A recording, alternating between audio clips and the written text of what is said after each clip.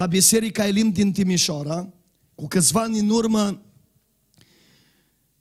a fost un caz care a întristat biserica. O soră respectată în Elim, apreciată, o mamă la opt copii, s-a îmbolnăvit brusc, diagnostic pus, cancer în fază terminală.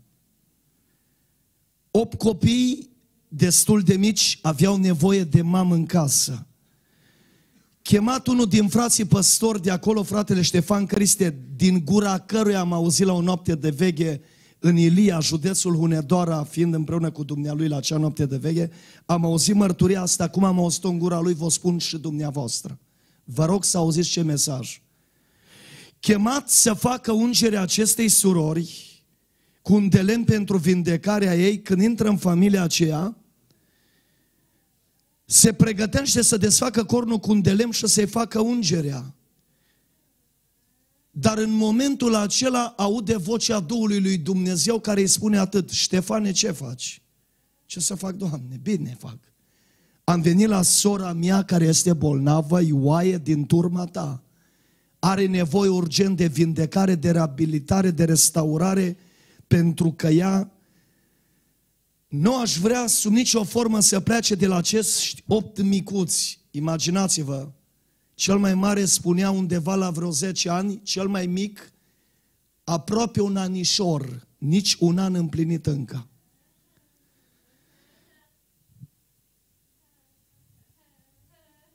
Ce faci, Ștefane? Îi fac ungerea, dar nu mă întrebi cum de dintr-o dată cancerul a lovit trupul acestei femei? Intri fără să stai cu mine de vorbă care e situația, care e substratul, cauza care a generat ceea ce a generat. Începe și se rogă și auziți ce îi spune Duhul Sfânt. Apropie-te de patul femei care abia o mai vezi că suflă aici. Sora nu mai avea nici 50 de kilograme. Trasă la față, într-o stare critică, neputincioasă și îi spune atât Domnul, transmite-i, pe cine nu poate ierta din casa aceasta? Mă auziți? Pe cine nu poate ierta din casa aceasta? Frate păstor, pe cea pe care nu o pot ierta din casa aceasta, e mama soțului meu, bătrâna asta, care stă acolo în colțul casei. Asta mi-a mâncat mie nervii, viața și zilele. Atâtea tulburări, atâtea ispitiri de ani de zile de când stau în casa ei, îți convinsă că din pricina ei am ajuns în starea aceasta să cad. Soră dragă, dar nu vrei să o ierți pe mama socră?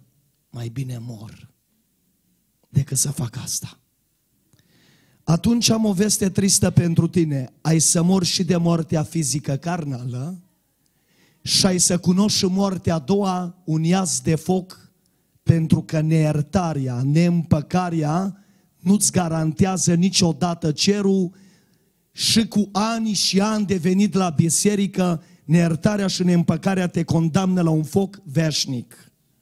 Și asta e realitatea, că ne place să auzim că nu în dimineața asta.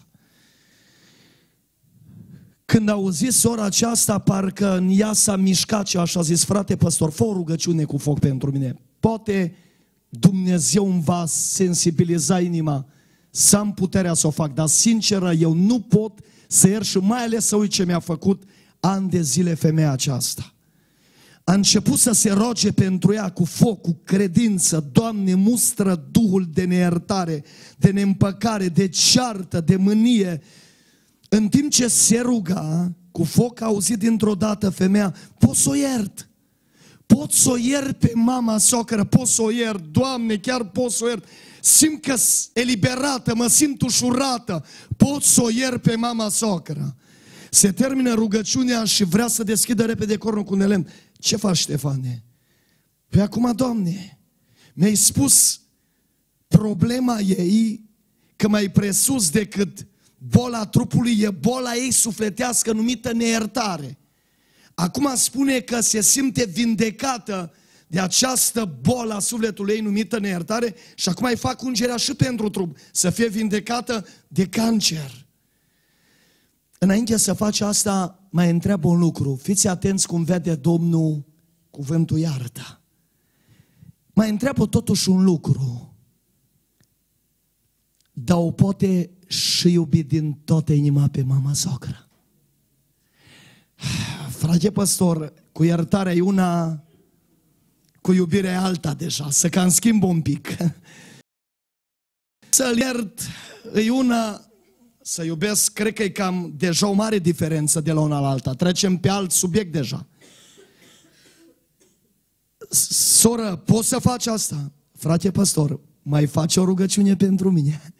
Mai te rogi odată. Mă mai rog, soră, încă o dată mă rog. Se rogă din nou cu foc pentru ea.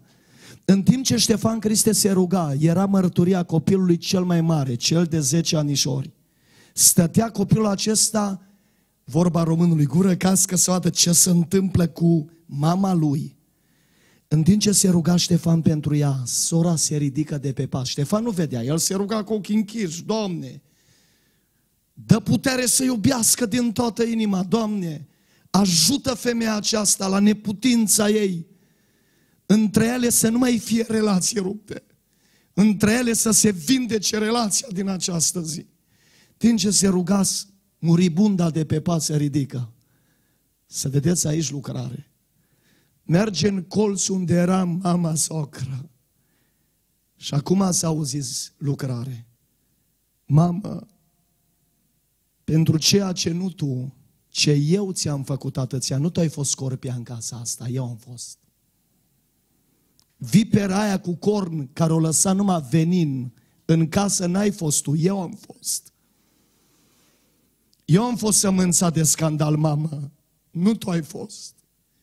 Poți să mă ierți și să mă iubești că eu aleg să fac asta. Dar dacă aud consimțământul tău, a sărit pe grumazul ei mama socră și a fata mea să-mi ia Dumnezeu mie zilele și viață. Eu mi-am trăit viața să înaintată în vârstă.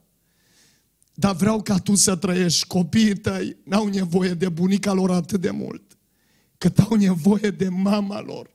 Fiul meu nu mai are nevoie de mama lui acum atât de mult cât ar avea nevoie de soția lui. Mie să-mi ia Dumnezeu viața că mi-am trăit-o, am ajuns la etate, dar aș vrea să-ți dea ție Dumnezeu zile și dacă ar trebui și din zilele mele aș rupe numai să fii tu vindecată. S-au îmbrățișat, s-au sărutat și ea s-a dus înapoi pe pat, s-a pus înapoi în poziția aceea orizontală, își deschide după un timp Ștefan Cristia ochii, vrea să deschidă cornul cu undelen să facă ungerea. Ce faci, Ștefane? Bine, Doamne, fac ungerea. Nu mai spune că mai are cea. Nu, ce spune atât. Închis cornul cu undelen și plece acasă. Poftim, Doamne. Ce ai auzit, Ștefan? Plece acasă. Doamne, chiar nu înțeleg. Plec acasă, de ce? Lasă-mă să-i fac ungerea. Iacov spune să cheme pe prezbiterii bisericii și după ce Ștefane, tu pleci acasă, am spus. După ce am plecat acasă, spunea Ștefan Criste cu ochii în lacrimi, aud la vreo două luni de zile o bătaie unde eu stau, soția, așteptăm ceva invitați musafiri? Nu știu pe nimeni, pe nimic, dar cine o fi, cine bate? Fratele cu soția la braț. Frate Ștefan, dumneata ai plecat de la noi din casă atunci.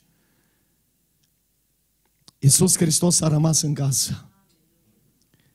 Soția mea este declarată de medici din Timișoara vindecată totalmente de cancer. De la o zi la alta mi-am văzut soția după ce dumneata ai plecat și numai eu știu ce gânduri am avut când te-am văzut că pleci și nu-i faci nici ungerea ce m-am ispitit pe lucrul acesta. Dar vreau să spun un lucru. Se pare că vindecarea soției mele a fost generată de iertare și de dragoste. Nu vi se pare că în ultima vreme bisericile din țară, creștinii noștri stare des atacați și îngăduiți să cunoscă Duhul numit cancer? Da sau nu? Pe unde mă duc, eu nu mă asta aud. Nu mă asta aud. Pe unde mă duc? Bat mult țara asta nu înșelat. Dar nu mă asta aud. Nu vă întrebați de ce ne îngădui să trecem pe aici? Relații rupte. Tot alții vinovați, nu eu, Doamne. Așa zi și fariseu în templu, cu un ochi se ruga închis în dreptul lui, cu un ochi era deschis. Îți mulțumesc că nu-s ca asta. Nu-s nici ca ăla, nici ca celălalt. Eu îți bun, ăia așa. La toți le dădea notă, pe toți eticheta, numai pe el nu. Dar hai să mai vedeți următorul cuvânt.